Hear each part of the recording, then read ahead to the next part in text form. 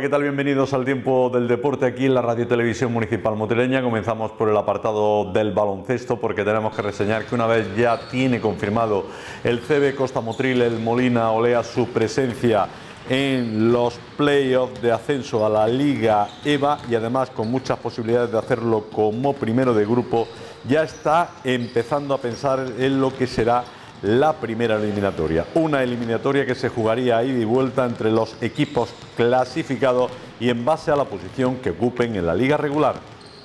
Sí, ida y vuelta.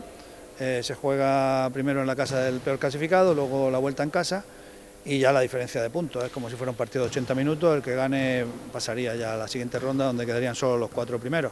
Pero bueno, todavía nos queda mucho para eso, vamos a seguir centrándonos en lo que nos queda de liga en conseguir el objetivo, que no está todavía matemáticamente conseguido, y sobre todo en las sensaciones. Eugenio Llera destaca que todo depende del puesto en el que se acabe, pero si son primeros le tocaría jugar con un tercero de otro grupo o uno de los peores segundo, y si no ocupan esa posición le correspondería enfrentarse a un segundo. Bueno, el rival se supone que es un poco más débil, el primero juega contra un tercero y el segundo pues juega contra otro segundo fin, juegas contra un rival un poco más débil, pero bueno, ahí ya todos los equipos van a ser fuertes, ya esa eliminatoria va a ser muy complicada. Y bueno, aunque todavía queda un mes, vamos a, trabajar para ello, primero a conseguirlo, a rematar el objetivo, que no era el objetivo inicial del equipo, pero ya que estamos arriba vamos a ir a por todas. Y luego pues ves que arriba nos toca intentar batirlo.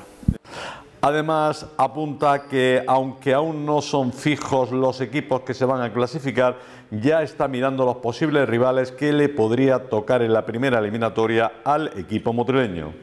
Sí, aunque cuentas todavía no se puede hacer porque todavía está muy abierto, todavía tienen que jugar eh, los rivales, los primeros de cada grupo entre sí, pero sí es cierto que bueno que ya sabemos más o menos qué equipos se van a clasificar del grupo de Málaga, Córdoba y también del grupo de Sevilla, Cádiz, Huelva también más o menos se va perfilando un poco y ya es cuestión de cómo quedemos nosotros, que todavía ahí está muy abierto el ser primero o ser segundo, eh, ya a ver eh, qué, cruce nos toca. Eugenio Llera dice que no tiene preferencias en esa eliminatoria. Pues hombre, si podemos ser primeros, pues te tocará un tercero o el peor segundo.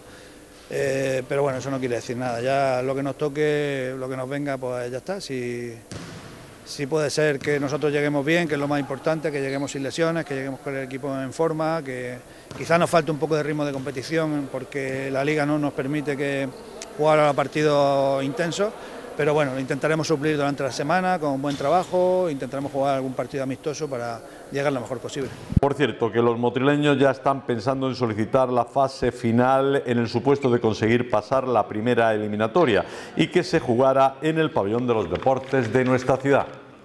Recuerden, quedan dos partidos para terminar la liga regular y este próximo fin de semana jugará en casa de uno de los equipos que están en la zona baja de la tabla clasificatoria, concretamente el Fundación. Y el último partido se jugaría en el pabellón de los deportes de la zona norte frente al Almería. Habrá que estar a expensas de saber qué es lo que va a ocurrir. Cambiamos de actividad deportiva, nos vamos al fútbol. El Motril jugará el próximo domingo a partir de las 6 de la tarde frente al equipo de el Torre Don Jimeno, un Motril que no podrá contar con el central Modesto Lobato que definitivamente sufre una rotura de ligamento cruzado anterior y menisco externo en su pierna derecha, por lo que se perderá, perderá lo que queda de campeonato. Un auténtico contratiempo para el central malagueño que estaba siendo uno de los jugadores claves en la defensa del equipo blanqueazul en este tramo de liga. Una lesión que plantea muchos problemas a Edu Oriol de cara a esta parte final del campeonato al tener a todos los centrales lesionados, por lo que el próximo domingo en Torredón Jimeno tendrá que volver a hacer cambios. Pero vamos a seguir hablando del Motril lo vamos a hacer ahora con una buena noticia porque tenemos que reseñar que el guardameta del equipo blanqueazul, Miguel Prieto, es el actual Zamora del grupo noveno de la tercera red y uno de los menos batidos de toda la categoría a nivel nacional al haber recibido tan solo 17 goles en los 29 partidos que se llevan disputados en esta temporada, lo que hace que sea una media de menos de 0,6 goles por partido. Un año en el que ha tenido la oportunidad de jugar prácticamente de titular todos los partidos, pese a ser aún sub-23 al contar con tan solo 22 años. Un año que le está resultando como muy bueno a nivel personal hasta el punto de que ya son varios los equipos de categoría superior que, que le tienen puestos los ojos en él. Prieto apunta que todo es trabajo del equipo y de los 11 componentes que se encuentran en el terreno de juego. Bueno, al final es trabajo de todo el equipo, es un logro el poder encajar tan pocos goles y después aprovecharlo arriba y poder seguir sumando, pues se te da ese, ese plus, tener siempre la portería a cero. Está siendo una temporada redonda para ti, tan solo falta jugar un playoff. Sí, bueno, al final eh, la temporada pues da igual un poco lo que hagas y al final no consigues el objetivo, que para nosotros es entrar en playoff. Individualmente estoy muy contento, en el equipo estoy muy contento y nos falta solo pues lograr ese entrar entre los cinco primeros. ¿Estás madurando lo suficiente para el año que viene dar un salto a una primera red? Bueno, a lo mejor eso es hablar mucho, no lo sé qué pasará eh, el año que viene. Yo pues sigo jugando, sigo disfrutando del fútbol, que es lo que más me divierte y, ya, verás, ya se verá lo que pasa. Porque tú estás creciendo mucho este año futbolísticamente. Sí, bueno, al final es eso, es eh, ayudarte con tus compañeros. Javi, el entrenador de porteros, también me ayuda mucho. Y los míster me dan muchos consejos y todo eso te ayuda a crecer. El jugar también en esta categoría, poder jugar todos los partidos, todos los minutos, pues también te ayuda a crecer mucho y seguir, y seguir creciendo el fútbol. ¿Esperabas este año cómo está siendo? Bueno, creo que después del año pasado, cómo terminó, cómo, eh, y cómo renovaron a muchos pesos pesados del equipo el año pasado, yo suponía que, podía ser una gran temporada, tanto individualmente como colectivamente, y al final pues se está dando eso. ¿Y cómo ves este final del campeonato? Pues toca esperar los resultados y nosotros seguir ganando. Tenemos que, puntuar todo lo posible y esperar al final que Torrelmar, Almería y Malagueño puedan llegar a pinchar los partidos que les quedan. De esos tres equipos, ¿cuál crees que va a pinchar?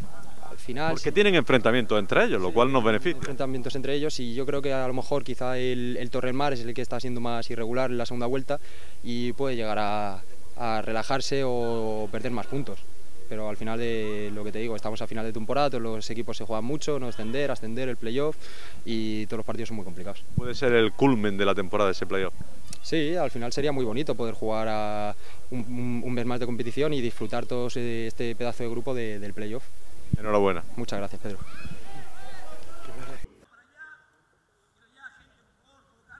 Y vamos a terminar hoy hablando de ajedrez porque tenemos que reseñar que el único equipo que queda en competición oficial, el equipo del caballo de plata, va a disputar la fase de permanencia de la primera andaluza de ajedrez y tiene ya como rival para este fin de semana, para seguir en esa categoría, a los jienenses del Dama Morena a un equipo que ha quedado este año subcampeón de la Liga Provincial de Jaén y que tiene como principales tableros a José Manuel Villar Villar, Juan Carlos Higueras Piedra, Manuel Fernández Checa, Pedro Reyes Romera y Francisco Javier Fernández García. A priori los motrileños del Caballo de Plata son favoritos y el reseñar que el encuentro de ida está programado para este domingo, día 21, en la sala de los bajos de la Oficina de Turismo de Motril desde las 10 de la mañana y el partido de vuelta se jugaría el 28 en el municipio de Marmolejo, Jaén.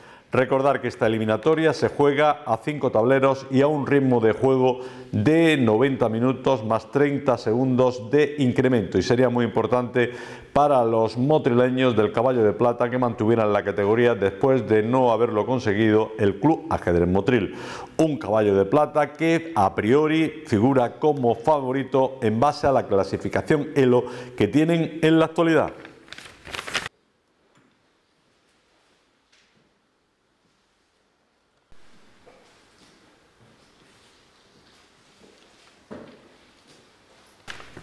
Desde aquí mucha suerte, como decíamos, al equipo del Caballo de Plata. Nosotros volvemos mañana y lo haremos contándoles todos los acontecimientos que vamos a tener a lo largo de este próximo fin de semana. Que lo pasen bien, que disfruten y gracias por estar ahí. Les espero después del Diario Comarcal.